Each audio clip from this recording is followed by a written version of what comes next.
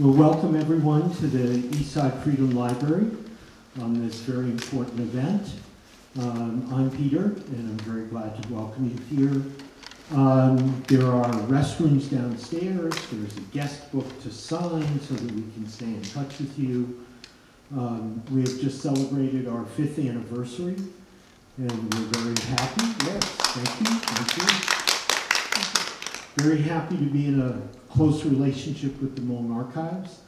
Um, and this program this evening is an outgrowth of that relationship and this work. So I'm going to introduce Brian Zhang, um, who's a good friend and has been on the board of both the Hmong Archives and the Eastside Freedom Library. Brian. Thank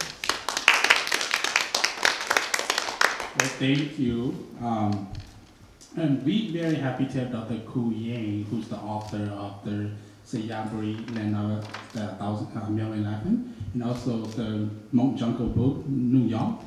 But before I introduce Dr. Kou Yang to the podium, I also would like to introduce Marlin Heise and Song Lam, who is the CEO and board of the Hmong Archives, and they can come up here and talk a little bit about what the Hmong Archive is, and so other people get to know who are the Hmong Archives.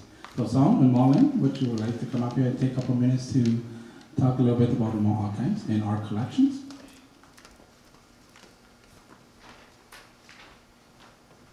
I would say go back and pick up one of the pink sheets. This is as of the um, 31st, this one? No, this one is still the November one. 31st of uh, December. We have collected about 206,000 things over our 20 years. Yuepheng Xiong at Hmong ABC is the one who got us really going.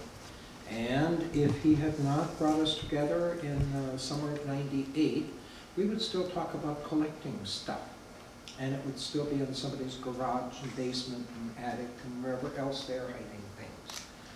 Um, we have been here now over three years, and our books are here, and down below we have some storage, and out back behind we have an annex with more storage. Um, we would be most interested in people's VHS videos and other cassettes and such things because now if the people do not have a way of um, playing them, they might get thrown away. And we would prefer to keep them because we think of them as being a big important part of Hmong culture.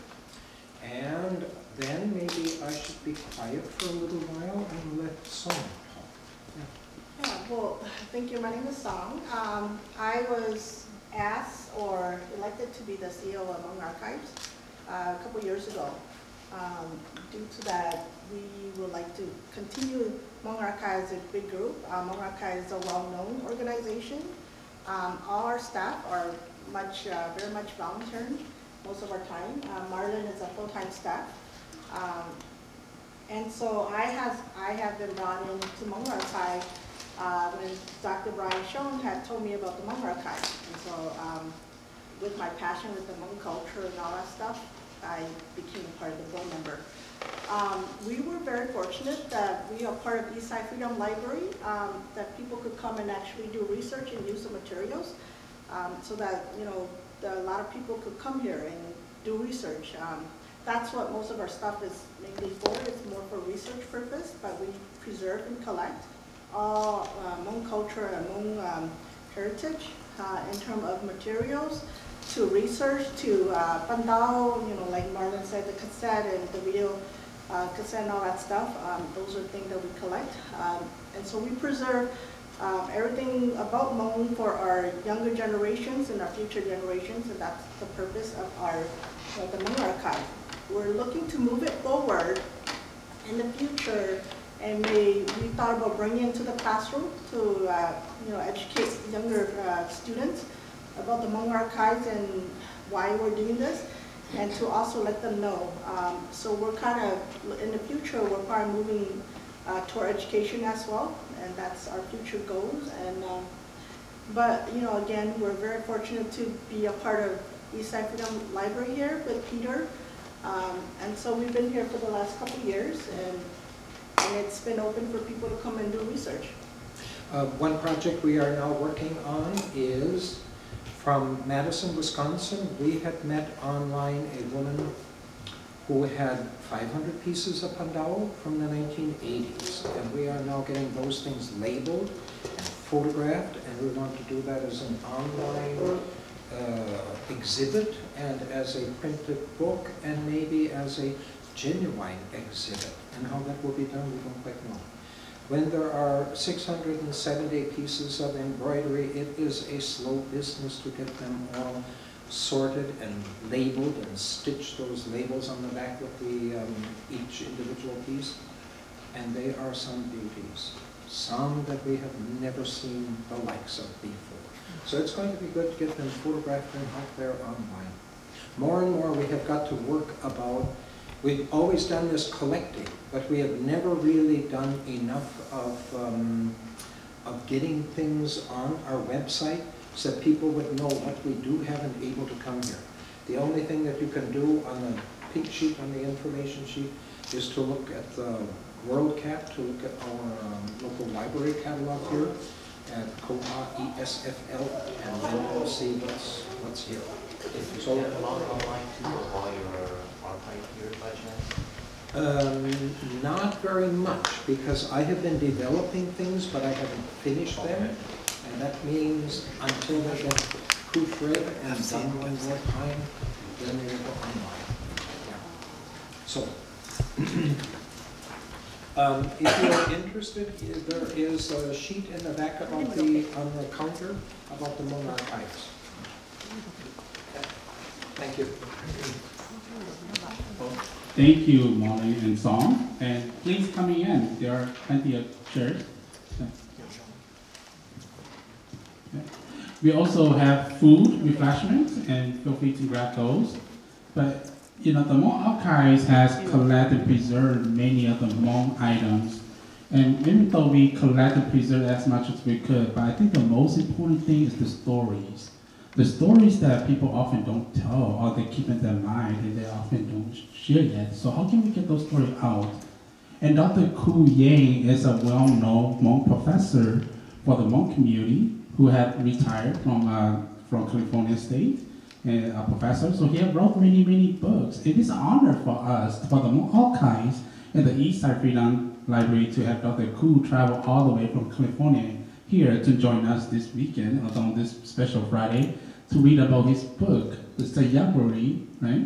And he talked in the book. He talked about his experience growing up there, right? And we also have the book in the back, so feel free to purchase the book. Dr. Kou will be here to answer a question and talk about the book too, and you can have his personal signature or personal message for you when you purchase his book.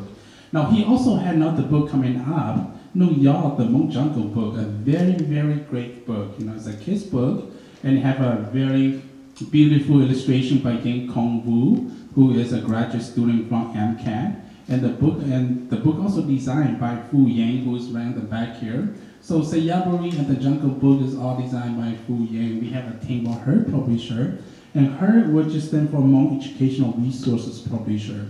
We publish book for Hmong students, K to 12, college students, professors, researchers, community members, or just parents that you have story you want to tell. We would love to publish your story because Hmong archives we collect and preserve, but we know that there are many, many great immigrant stories out there that need to be preserved and recorded into book. And that's why we have the Eastside Freedom Library here, a purpose for the immigrant family. Okay, so I won't take too much of your time. So Dr. Kou Yang, please.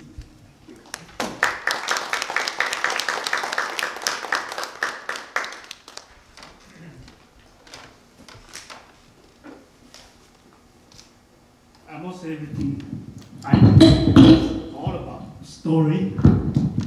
So I want to begin tell you a little bit story about myself, and we go from there. I want to be less formal, so we have opportunity to, to interact. You can ask a question instead of reading a lot from the, this book and from the other one. I think question and answer will probably be much better. And if you know the story, why I wrote those short story, those books, they're not here, but from somewhere else, uh, that will probably help you to better understand my work. I was, uh, uh, I was born into a very large family, 18 people, multi-generation. So I grew up in such an environment. I was the oldest son, the oldest grandson. So I was trained to be family, the leader of the family, to be the gatekeeper of the community. But I wasn't very good in oral, in Hmong culture. The leader, you have to be very good in oral. You have to also be very good in making basket, use knife, use a crossbow, weapon. I wasn't good in that. I can learn Hmong song very fast, but I never sing I never play sport. So that's my own shortcoming. I was sent to school, partly because of that, and partly because of the war. I remember when I was a little boy, went out to the field with my grandfather at night. He, the my pig came to eat our corn, so I was with him. At very dark night, you could see the star very clear. So I keep asking him, "What's the name of that star? What's the name of that one over there?" He kept telling me the name of each one of them. And then I asked him, how big is the moon? He said, what about three mountains? How big is the star? It's about three houses. He didn't have education. He did not know that the moon is closer, but look bigger, but the star might be big, bigger, which is far away. And then I asked him the wrong question, or right question, how far from here to the moon? He didn't answer me anymore. He said, I've raised many generations, many children. Nobody asked that kind of question. Because in, in, in the Hmong culture, they would ask us, just like a, a little boy go to the church and ask him, where's God? Something like that. But I was curious, so I keep learning. When I went to school, I asked this kind of question. The teacher loved it. And I loved too. So I stayed in school the majority of my classmates in the village dropped out.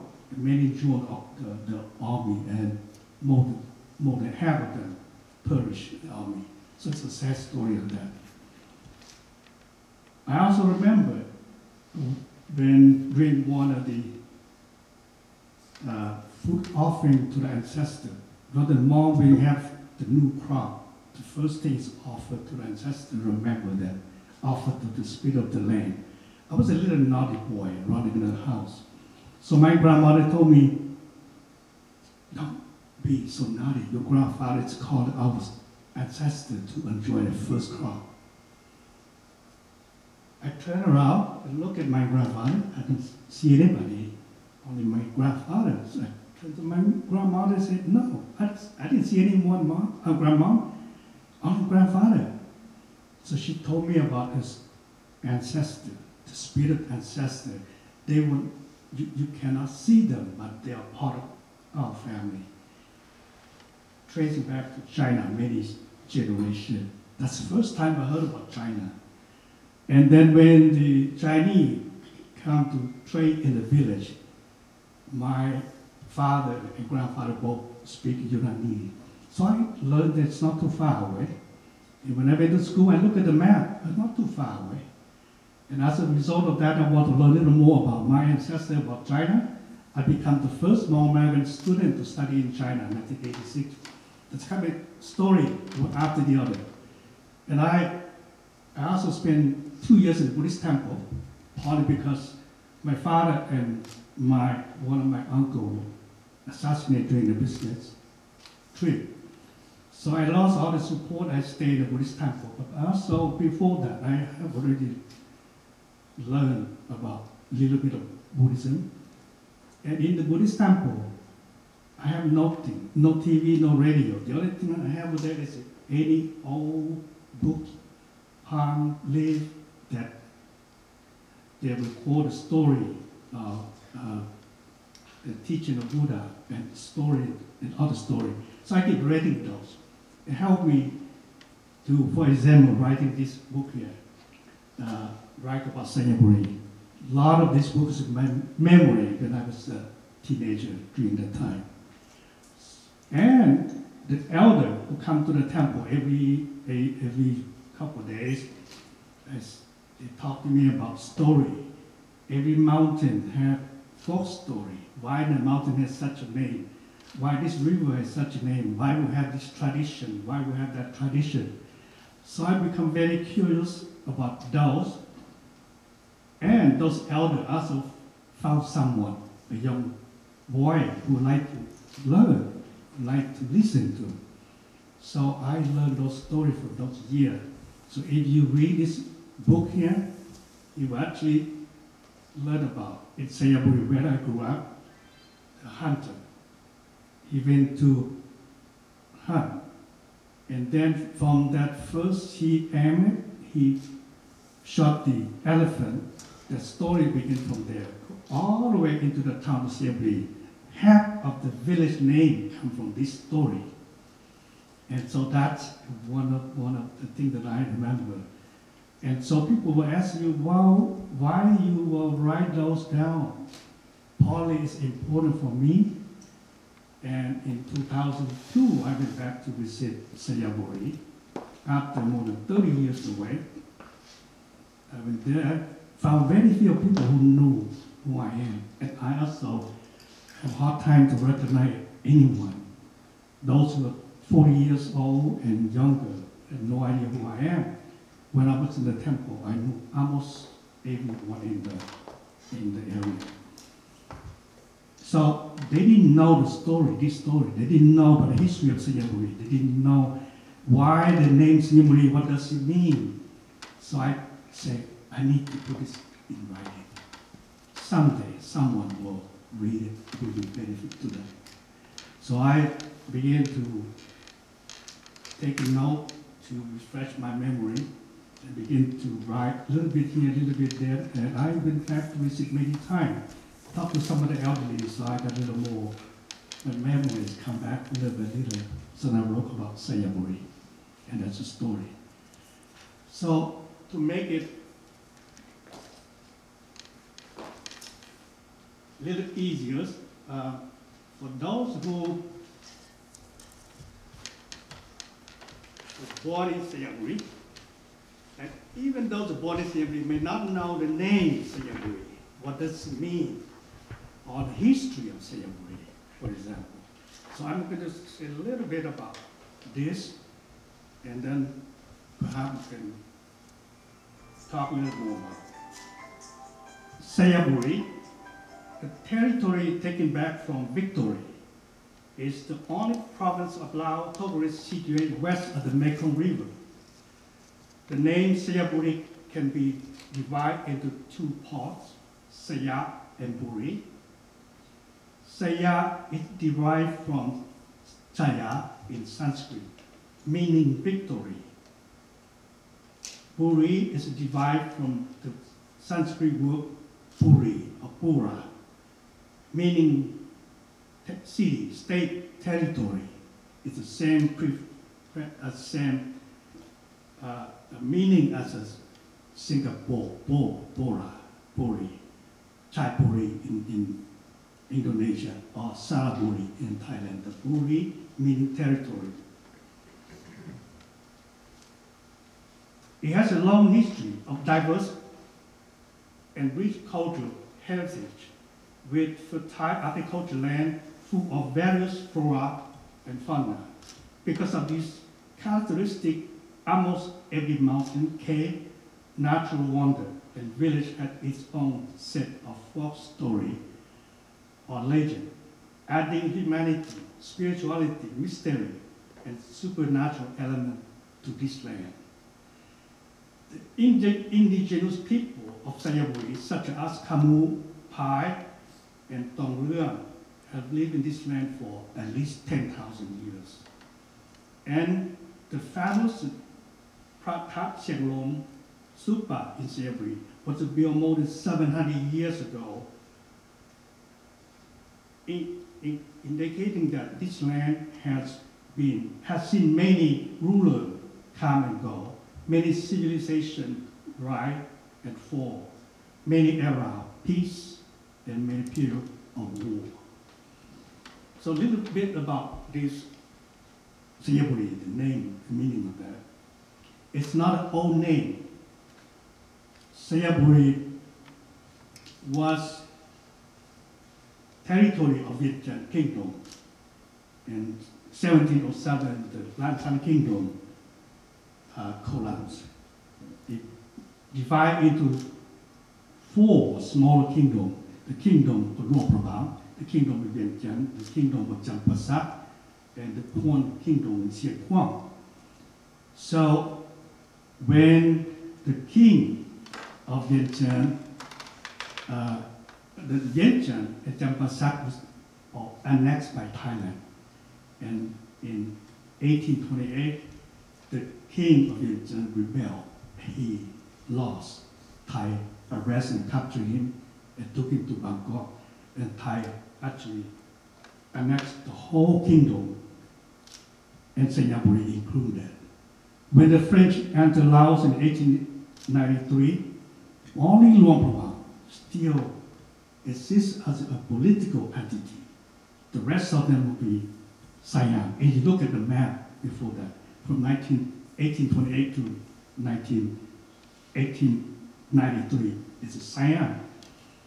So the French forced Thailand to return east side of Mekong River to uh, Laos to the front, but not the west side. Siam was in the west side.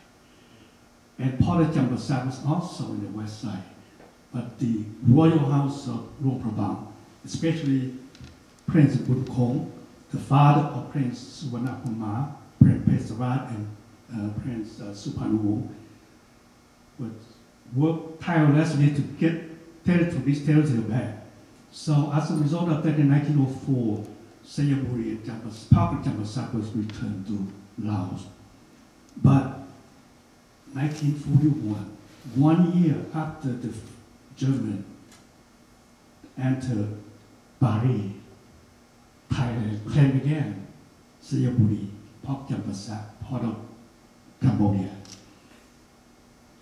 Fortunately, France was one of the victors of World War II, and they established the United Nations in Taiwan to be a member of the United Nations. And France said no, unless we return its territory back. So Thai, Thailand, the name Siam was changed to Thailand in 1939, and Thailand really, really want to create an empire for the Thai speaker. And so they, they really want all of those. They have really annexed the Lanna kingdom. They have really annexed the Ayutthaya and Lat, Lat, half of Lhasa. So they do want to get Sayaboury back. But unfortunately, the French forced Thailand to return Sayaboury back to Laos. And France has a promised independence to Laos. At the time, it's not known such a thing as the Kingdom of Laos. But France, in order to build a kingdom, they have to help Laos to put all these smaller kingdom into a bigger one and name it the Kingdom of Laos. That was 1946, and the king of Luang Prabang became the ruler of the Kingdom of Luang Prabang. And then the king, the first king of the Kingdom of Laos, issued a decree to grant Sayaboury the title of province, the status of province, and name it Sayaboury. That's where we got the name Sayaboury. It's a new name. So that's a little bit about the history of that. So why it is Sayaboury relevant to us, the former refugee from Laos, from other places. So I want to read a little bit about the synopsis. Lastly, the book includes legend and oral accounts that explain the physical, spiritual order of natural wonder and man-made monuments. This story adds folk culture, beautiful tradition, mysterious belief system, humanistic perspective to the land million elephant and its diverse people. Why million elephant? When Thai claimed Sayaboury back in 1941, Thai actually uh, named it Changwat Lat San. Is a province. Lan, Lan is a million, San is the elephant. So, believing that Sayaboury have more elephant than any other province in Thailand and in Laos, even today they still believe that Sayaboury have more elephants. So they call land of million elephants.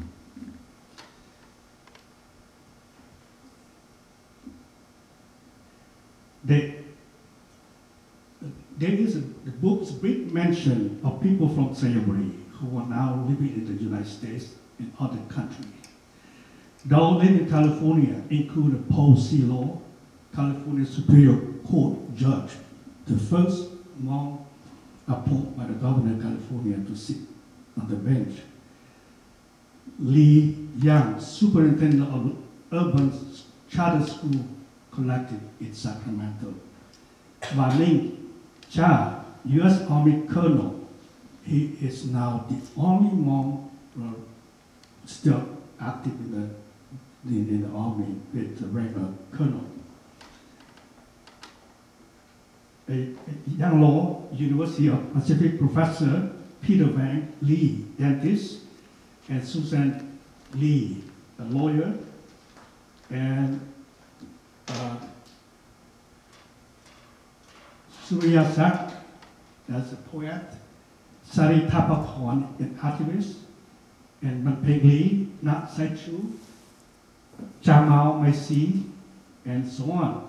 See the list of those from Sayaboury, but lived elsewhere, are Johnny Talansi of South Carolina, Bonet Palat of Florida, Nali Singham of Virginia, Sompon Samon Gal of Canada, and Sombun Echampeng Tipsuwan of Canada, Kampil Wongun and Tongsi Vanvilai of New Zealand, and Chao Manisakon Panya of France, and I am also from Sayaboury. So we have many, many refugees here they're from that province. And so that's, it's relevant to us. And I also, in the book, I also talk about history in Sayaboury. Uh, my family, for example, uh, I'm the fifth generation. I wasn't born in Sayaboury, but the rest of my my grand, my great grandfather, my grandfather, my uh, great great grandfather, all born in Sayaboury, and both sides of my my mother's side, my father's side. So we have a long story there, and little different from the other side in Xieng Khouang and Samir because Sayaboury have a different, unique history, and so a lot of time people think that oh, they, there's no war in Sayaboury, but we did suffer uh, from the war. Perhaps maybe less than those in the in the border with Vietnam and China, but we do. So I mentioned Hmong history in Sayaboury, also most involvement during the Civil War in Sayaboury and after 1975. So mention very brief that. I think if you let me continue, I probably will never stop. Uh, now you learn a little bit, but let me tell you, go back. I didn't have the formal training in English language. When I arrived here, I learned, I, I, before coming here, I was a student in Laos, so French was the second language. So I, I speak more French and a little bit, not too fluent in French, Thai.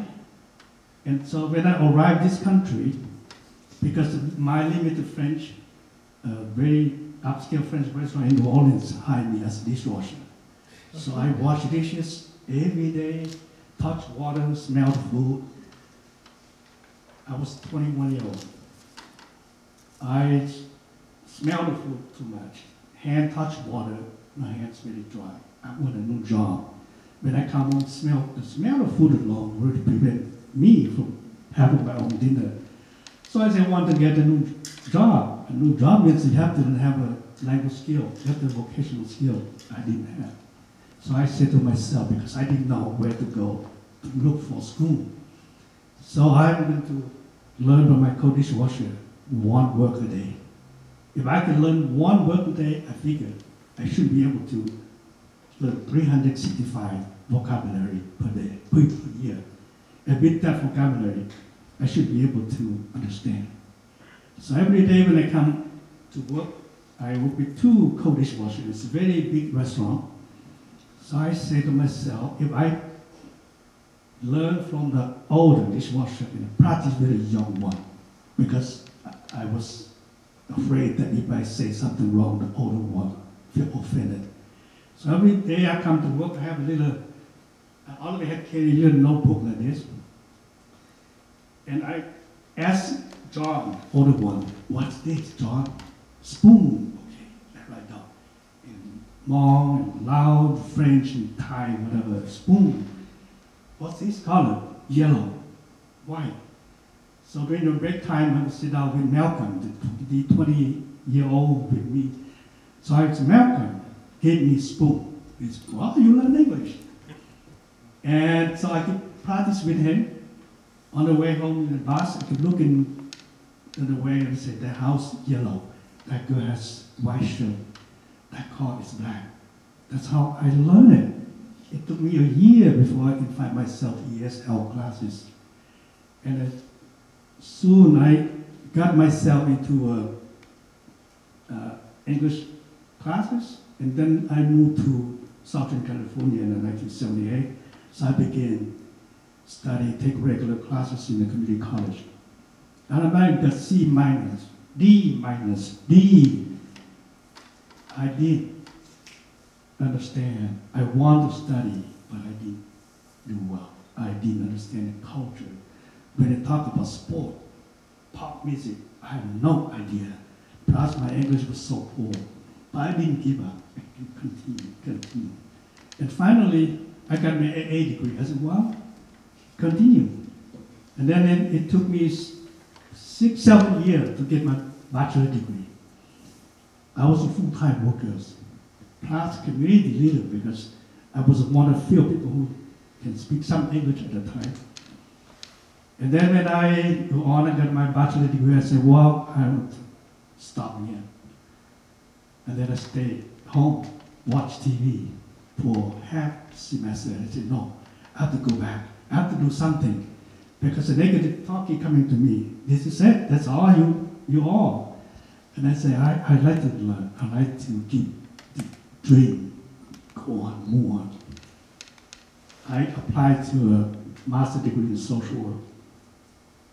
And they look at my transcript and say, no, you didn't have 3.5 GPA like we expect you to have.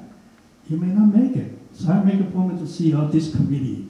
And I said, yes, correct. I did do well the first four years. Look at the transcript. I did very well last two years. Plus, I experienced doing social work in this and that, that kind of program, this kind of program. Not only that I will be student, but I probably will be bringing inside my own experience into the class discussion. So they, they, they liked my idea, they took me in, and I finished in three years, full-time workers. And my wife just called me full-time worker, full-time student, part-time husband, part-time father. So I spent a lot of my time the class. At the time, very few Hmong in, in Fresno. Hmong moved to Fresno, a lot number, create a lot of crisis, a lot of problem. To count behind me out of Los Angeles to come to Fresno, I said, the troubleshoot. So people call me midnight every time they have problem, husband or wife, children, whatever they call me. And I was young, so I didn't mind to do all of those. It also give me the hope and the power to continue. So I finished my master's degree and I said the same thing. I will probably stay home now. But then I read the 1990 US Census, more very young population, newspaper, everywhere, when they talk about Hmong, they call the Stone Age people. Many politicians and local politicians also blame the Hmong for having too many children. One article said the average Hmong women have nine children.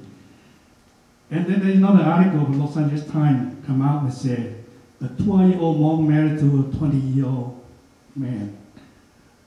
And I said, no, they didn't bother to come and talk to mom, see the girl. She wasn't seven, uh, 12 years old, she was a 17. They did the age wrong. When the person interviewed her, send the document to the U.S. Embassy and they make type one typo, you get 10 years older or 10 years younger. Let's say you were born 1960 and they type oh, 1970, you're 10 years younger. So I say, I got to go back to school to be the storyteller Hmong story.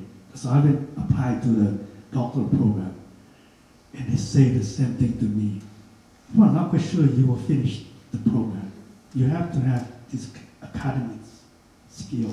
You have to have language skill. You have to have the discipline. You have to have this. So I present myself, I present my idea, tell them about my own experience. And they listen. They say, okay, we give you one semester conditional. If you do well, we will officially admit you. If you don't do well, you show the way out. And I did that.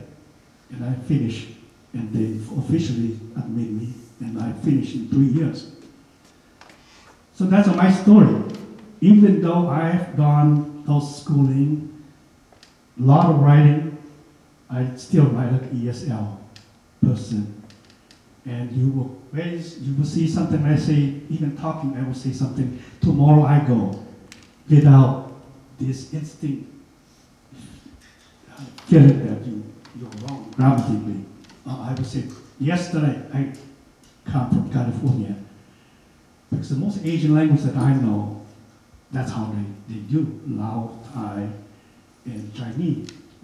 So that's very easy for me, but it, all of this is possible because many publishers, just like Brian and uh, Marlene, try to read and try to proofread, correct, make into a readable material.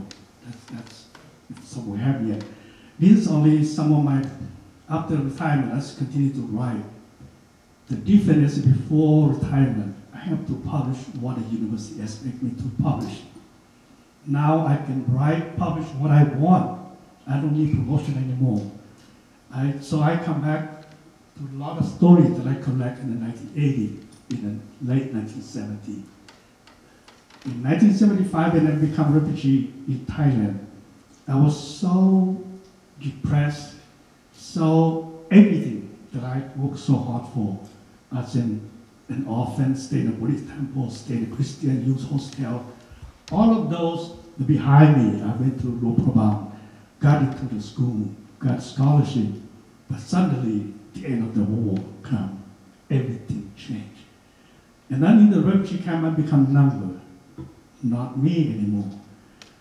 So to, to survive and to just to keep me healthy, I began to take a note like this again, walk to the elder, learn a little more about story, learn a little more about how the monk tell the story, a little more about their proverb. And the more I learn, the more I want to learn. And that keep me alive and healthy.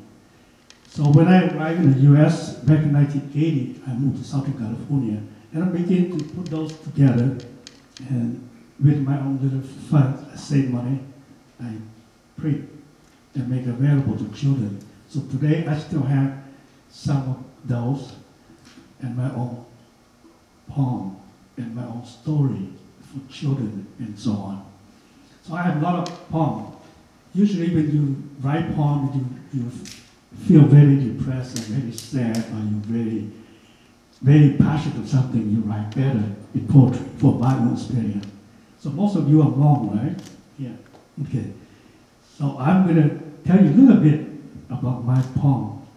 Not relevant to this, but uh, so I wrote when I was in the refugee camp. I wrote this poem. 北有这些路是主路，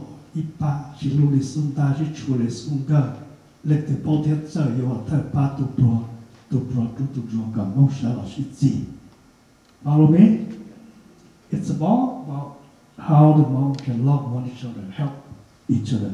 Very idealistic young man. But I dare to say things that most young men don't. I'm the first young Hmong I poetry against polygamy. And my friends say, wow, one of your paternal uncle had two wives. One of your, two of your maternal uncle has more than one wife. I say, somebody have to be the first one to say something. And I said, I didn't mean against my uncle. I did. And, and so I right into this social problem among drug, opium addiction, uh, gender issue, and the poverty in the refugee camp, as well as in Hmong society. So I put a lot of those. So little that, that's just uh, some of my experience. So you have some idea about why I collect the story, why those important to me and not for other young men. So that's it's moving to, for example, the story about New York, the Hmong Jungle Book. Some of those also my interest about Hmong story. Whenever I heard story about Cinderella, I said, we have that too. When I heard story about uh, the Julia and Romeo, I said, we have the story too in our language. If you want to go to Prabang, there's a break the mountain, girls' mountain and boys' mountain. They died out of their love for each other. Same as Julia and Romeo. So if you go to those territories, Prabang Sayaboury, take my book with you. Why this mountain has such a name? Why that story about a boy and a girl? And that's, you know, part of me that I visit. When I visit Laos or Laos, other Hmong, I travel along the Ho Chi Minh Trail because I know story of the war, which battle, where, and why. So I would love to visit places like Phou Pha Thi in Sam Neua. I know the story. Also, the I grew up in Reap as well as the Prabang, the palace, the temple. When Obama visited Thong, and some people translate Thong as a golden temple. I said, no, no, no, no, non-golden temple. Xieng Thong is the name of the kingdom, the, the Prabang, before the capital was moved to Vientiane. So they, the temple was built when the capital of Lan Xang was Luang Prabang. So they named Xieng Thong, for example. So a lot of this story, even today, not too many people there know this story. And that's probably even motivated me further to collect, to write down. Because I'm the one, probably feel young men who learned this thing when I was there. So I want to stop here and uh, see if you have any questions for me. If you want me to read more, I will do, but any question? In Hmong, in, in the language, Lao? Yeah. Good. Yeah, good. Um, just a personal question, how many children do you have and do they still live in California or what are they doing? I have four children. My son, only one son, he is in Georgia. And I have three girls in California. And my wife and I live in Central California. And uh, if you, you probably heard, if you know me, you heard that I was very risk taker. And also, I'm not so traditional. I break a lot of tradition in Hmong culture. I never had the Beilao, for example. When Hmong asked me, I said, no, it's not required. It's a tradition. And actually, I say to a lot of time, last year I come here, I also make a, uh, do a, a speech related to Chinese policy of the one belt, one road. And some people ask me, I said, maybe we are the, the, the enemy, the biggest enemy of us. The monks say, do as follow your grandmother, follow the, the path of your grandmother, follow the way of your grandfather. I say, that type us, that put us in a box. We need to think beyond that. So I was one of those who say, it, as it changed. But take the best of what you are Hmong. At the same time, you would take- learn from other people. That's what I am. I learned from a lot of other ethnic groups in China. Um, I'm probably a critic of China more than anyone else, but at the same time, I also learn a lot from them and break the tradition. Uh, my wife is a Chinese.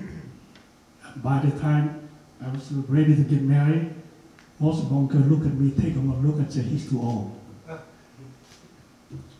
Not now, in my time, if you're 25 year old, you're too old.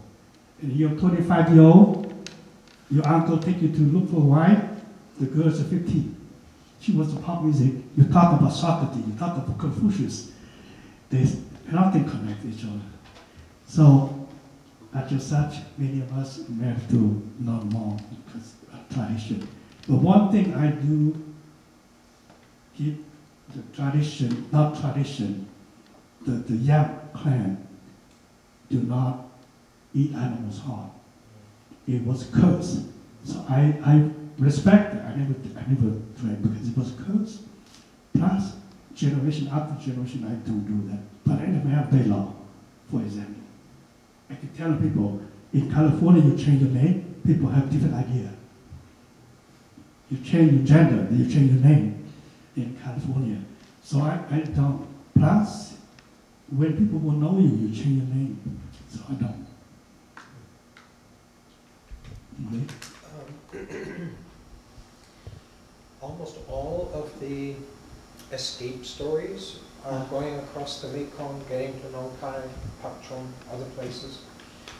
What was it like to actually go across the land border through the mountains of Sayaboury? And how many people did that? Because almost everybody seemed to go down towards Vientiane and Pak San and, and get over into, into Thailand. Also, initially, many went to Vientiane because that can follow the, the route to the capital and cross the river much easier. But later on, Sayaboury was one of the major passage to Thailand. Even people from Xieng Khouang, from, from far away. It took them many months to cross from where they are to the Mekong River. You heard a lot of story about people drown. You heard story about parents put opium to the children so they can they can sleep and, and not cry. A lot of story about people die along the way. It's land. Uh, and the people in Lumbramang Sayaboury, most of them crossed through Sayaboury territory to Thailand. And I did the same. I was a student in Luang Prabang. So the friend of mine, I did plan to leave the country. I was worked so hard and hoped that I would finish school and continue my education in France. So I did not want. Plus, the coming of peace. I was a young man, very idealistic. I, sounds beautiful.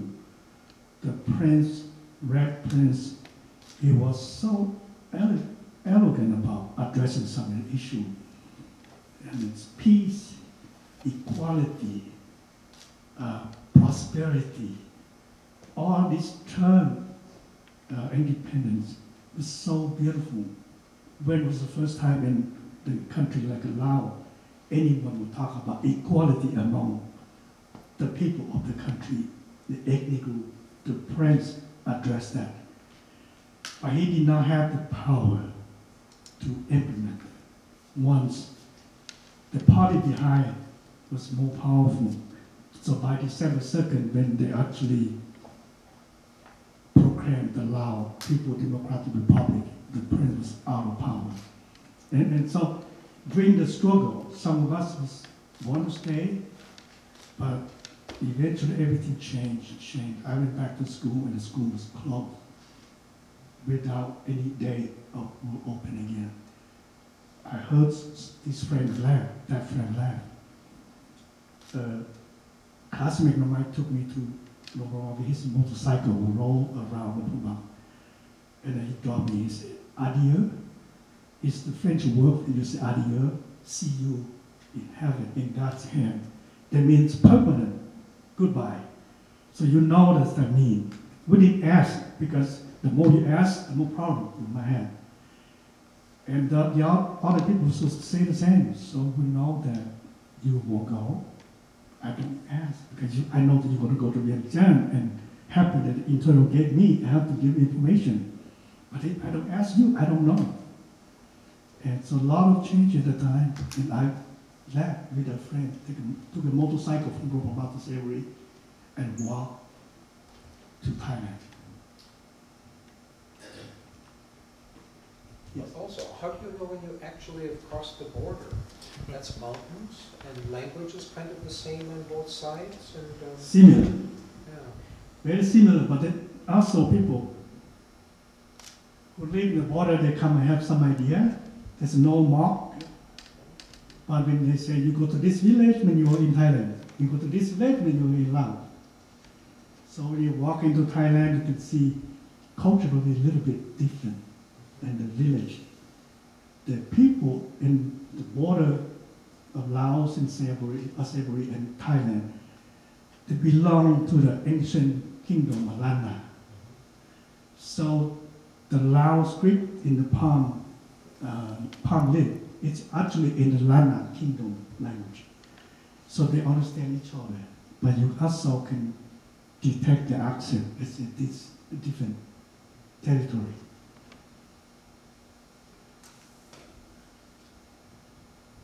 Anyone else? Hello. Yes. Yeah, um, your story sounds very interesting, and I'm very proud of you getting your PhD degree. And I'd just like to know with your low GPA, if they going to accept you, how long does it take you to get your PhD degree? So that, you know, students, um, will, can continue on and move forward? Sure. 20 years. From the day I learned what work day to the time I graduated with a degree. 20 years. Working full time, uh, attend school part time or full time, also involved in community. Day and night.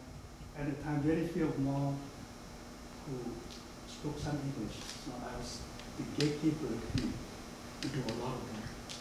And also, in the early 1990s, late 1980s, on politics, community faction in the community.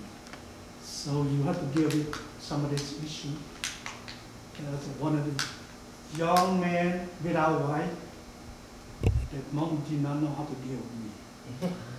when I, they had to deal with the larger community, they will, they, they will come to me. When I attend feasting, for example, they didn't know whether to invite me to sit with the elder or let me sit with the younger group. They did not know what to do because you don't have wine, you don't have belong.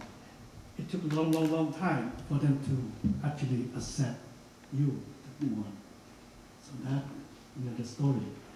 What I can tell for my student and other Hmong is never give up. I got D, D minus. All of those continue, stay on, stay on, and one day there's a light at the end of the tunnel. So don't, don't give up. Even when I was desperate, and my father, my I told you that my I was born to a very big family. When one of my my youngest uncle was killed in the war, my father and my uncle, this non-smoking, non-drinking, did the love trade, and on one of the trip, it was assassinated. So when they're alive, it's just maybe sell one or two pigs, maybe one ox, they can support me in school, but now they're gone. So I have to stay in the temple. In the temple, that means you eat leftover of the monk. So some people call them dog of the temple. But the temple was great for me. It's peaceful. Nobody saying in bad language. And I can read whatever I like to read there. I can study. And the monk was very supportive of me. So I survived. I still today, if I told my wife whenever I have to stop at feeling uncomfortable, indigestion, all that, I say that's the when I was in a temple no food, uh, no food eat, the no food uh, we catch now. But poverty, I make poverty as a temporary. Never accept poverty as permanent. And poverty, as a social worker, we don't see poverty as a lack of money. Poverty is a lack of power to change your social economic condition. Why? You, when you see the picture of poverty, if I ask you to list a picture of people poor, you never list a student. You always list homeless, welfare people.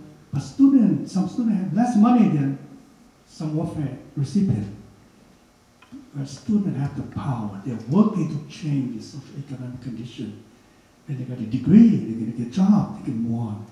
So when you are poor, lack of power means you accept it.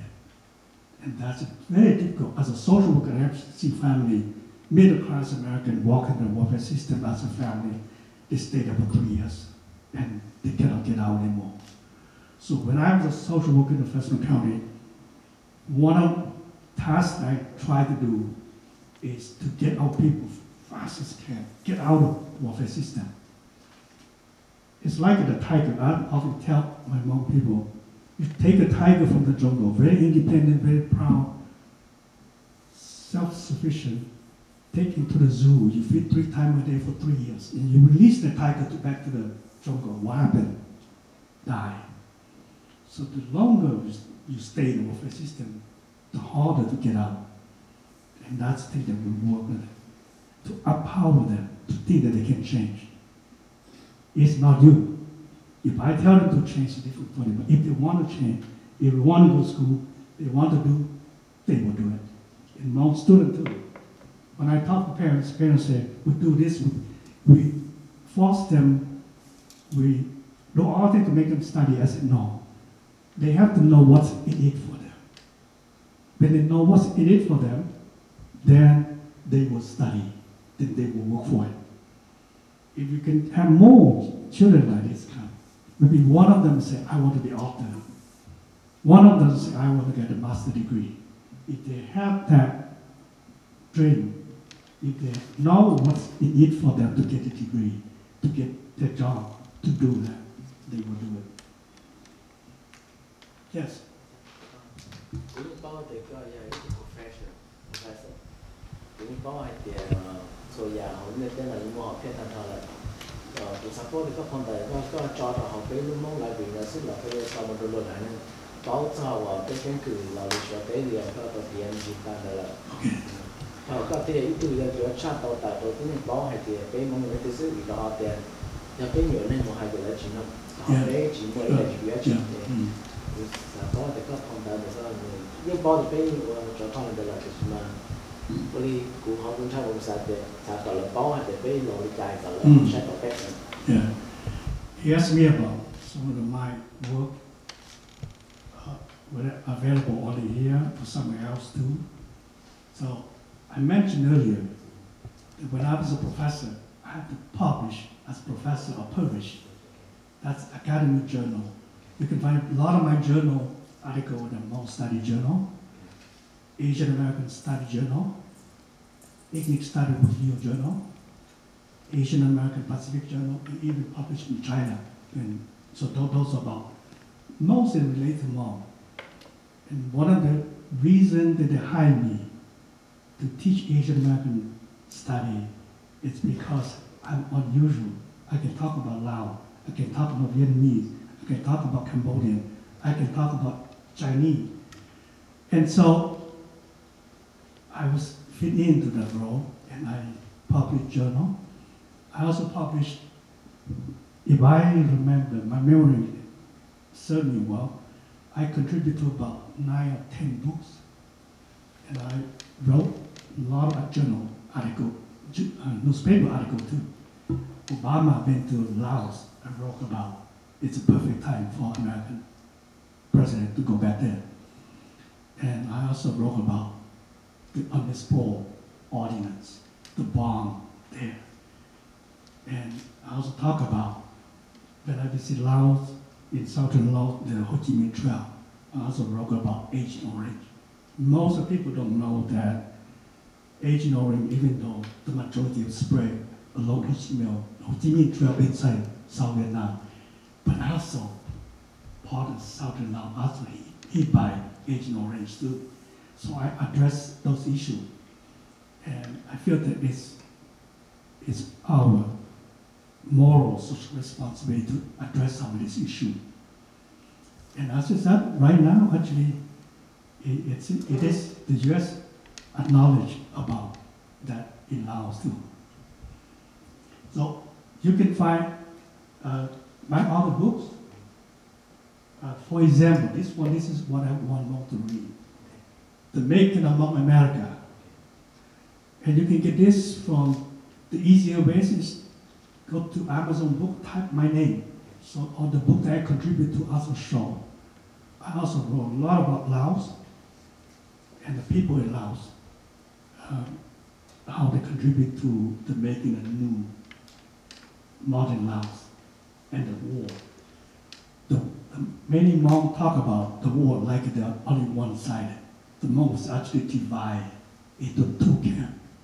So I keep telling Hmong, if you talk about the Civil War, American Civil War, you only talk about one side, then you miss the whole picture.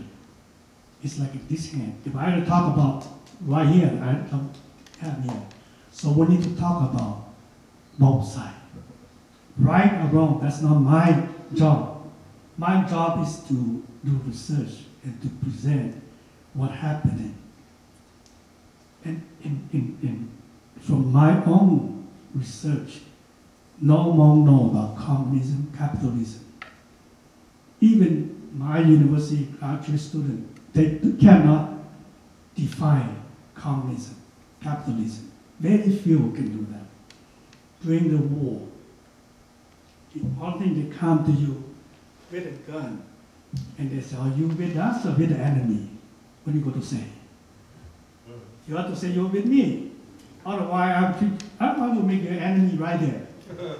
and that's what sometimes your family will separate. I have family on the other side that we never acknowledge publicly. In 1995, I got a telephone call from Lao. I know exactly who he is. He knows exactly who I am. Need no introduction. The war separates us. And, and so I have known relative in Sayaboury. but I think back in 2002, he came to me and said, you remember when you were small, your grandfather came to visit us. We talked about we're going to move to get, stay in the same village. Then the war came and we never dare to tell story. And that's that's another war that we need to learn. The secret war is the, one of the secret, mysterious part of Hmong experience that Hmong often don't have the good idea. I even heard Hmong say, oh, we, we uh, got the Ho Chi Minh Trail. The Ho Chi Minh Trail was way down military region 3, region 4 what they talk about is row six and row seven. That's in Xieng Khouang and some there. So example. So I wrote a lot. You can get some of those maybe to your liking. Some of those maybe uh, it's a different. It's a different version of history. Anyone else? Yes. Are you still pretty involved with the Hmong community? uh, Yes. Work with them I still serve as a board in the, in the board of directors of some local Hmong organization. Uh, George Polo and I will serve together in a, a, a Hmong American organization in Merced. We raise funds to provide scholarship to young, young Hmong. Nobody else? Yes. Yeah. Mostly 种种的菜，鸟都弄个三四样，来去包上肥羊啊，卤头羊。Yeah. 都系快食过呢，先用开火，我先包一点，先包煮好，再要又温和气，都唔大做。剁了。剁。剁，一整部剁，边少点。剁了。嗯。也不剁，都讲在过鲜啊。这个多倒嘛。我多那我知道还是来等你祖母念的，那我我得了多的，那我多找那我讲着我多了，也是来多那才给我打字，就打给你。呃，我一看这个话就他就说个包天嘛，我嘛我都是拿着的了，我嘛多，你嘛你都拿得钱了，今天拿了别，我嘛我包头弄这种的讲，大家都弄这种的讲，啊，我包是对了，我包着头背。那比较 ki jawwi naw ki tajum kiya, taw kanu kudang fu 点了 tajna tjuwaɗe, na pu tsaɗa, pei la tsaɗa, la la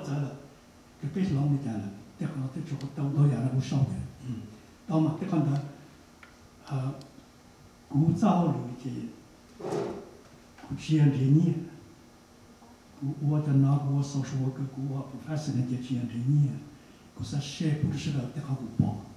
tiyaɗa, tiyaɗa. non pour mon ta tu te mong Argentina, te te mong yon Burma. Only the Hmong in Burma and Argentina that I have not visited. I visited the Hmong in Australia, the Hmong in Germany, the Hmong in France, the Hmong in French Guiana, and the Hmong in, in the Northern America. And China, and actually make 12 visits to China, and as a result of those uh, visits, the, the Mount, one Mount town they actually built a hall and monument. That's a root searching monument for us to return and search for our roots history. And I just come back from China on the last, last month. It's, uh, to attend a conference to present paper there. Was supposed to visit the there. So I like to talk about some of it. And when I see mom put a video out there, anyone who dressed like mom, they say, mom, mom, mom. No. There are many subgroups. So what's wrong? The mom never want other people to change them to other name, right? You're a mom, so I, if I call you Mel, you, you're not happy. So why you change someone else's name? Then they call themselves Mu. They call themselves Amor. So that's what I tell people. Call people by the name they call themselves. If you say his name, you say Tu. What I translate his name, but I call something else. And I see a lot of YouTube, a lot of Hmong. They see any picture, any YouTube of Hmong in China, they call it male, they call Hmong. But so many subgroups under this lumping term male, just like Asian American. And, and so I wanted to learn more about the Hmong. The more you learn about Hmong, the more actually you need to learn. Someone like me, I spent all my life learning and I still don't know all about. Anyone else? Ah. Now I will tell you another poem of mine. So this is, I was in a refugee camp. I wrote about the old time, the old village. Do chia hồ lì xì, nó tua chỉ lì kia, do xã tê lia bê tê cú rò thầu, món là đi nhau sống thả, nhau học xa, vậy nó nhau sống thả, nhưng này mua bù mua, sơn gió nó bỏ qua, trốn tu nó từ ngó, bây giờ là nhau chua thả, mua nhau trông trông, sinh nhau, muốn xài sống, sinh lý mua rộng tu lụa, 여자들나 So it talk about old life, right? And so this is some of the poem that I can still go and read it. What was life at time when I was a little boy in a village? That I also wrote about love story. Do not lúc your mind, not sắp vào xí quyền cho trong lúc she said xí sẽ tạo tí chùa cùng một phút trình chùa chùa chùa bật giọt cọc we didn't have telephone at the time. We don't have any even boy and girl were really separated. Say at night, just look at the moon. I will also look at the moon. So our eye will meet each other there. If the wind blow from my side, see if you can smell my scent. I will do the same.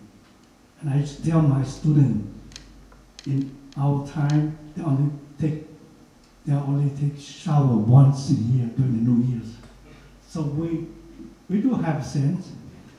So there are different generation now. You have a cell phone. My generation to look at the moon, so to feel the air, the wind. It's very emotion. It's a heart not physical. And, and so that's a lot of this is now I try to put together for the next generation. So thank you very much for the opportunity. I have too much read. If I keep continuing, you will never have chance to go home. Uh, if you want to read any of the work that I have, just type my name. Uh, I have a business card and you can take with you. Some of my business card actually have a title, and I have some of my work that published in Chinese. Uh, and you, can read Chinese, you can also read those as well. Um, so that's my ending here, and thank you for coming and support. And thank you, Brian, Marlin, and HER publication that make this book a beautiful piece, even though still like ESL language there. English is actually my fifth language, and Chinese is my sixth language. So I don't already speak any language very well. My mom is my mother tongue, but it's no formal training. A lot of terms you cannot write in scientific language. My Lao, I left Lao only four years, four years ago. I was very good Lao actually. I in a temple. That's why I can translate the same way the name, and you can divide how many part term. But after 40 plus years, I didn't use language. When I went to Lao, I speak Lao, people look at me, you speak ancient Lao. and, and I also have to very carefully think about what this term, what that term, many new terms that I don't know. Cell phone, for example, I don't know. And I have to relearn a lot of political terms that I don't know. And so English, after 40 plus years in this country, has this just like an ESL speaker. So I, I never have any strong language. So when people say, wait until you're very good to do it, I say, no. Write when you want to write. And someone else will make it better. Long time ago, an elder Chinese tried to le level a hill. And a young Chinese come and look at him with digging. Uncle, what did you try to do? I tried to level this hill. And the young man said, Uncle, you're already old. You think you're to finish? And the old man said, if I stop now, you and my children are going to finish it. So that's on my dream. It may not be very good in English, may not be very good, but next generation can be make better. My generation, the other thing I learned about history is, long time ago, we come from China. That's it. I make a 12 trip to China. I visited monk almost everywhere in China.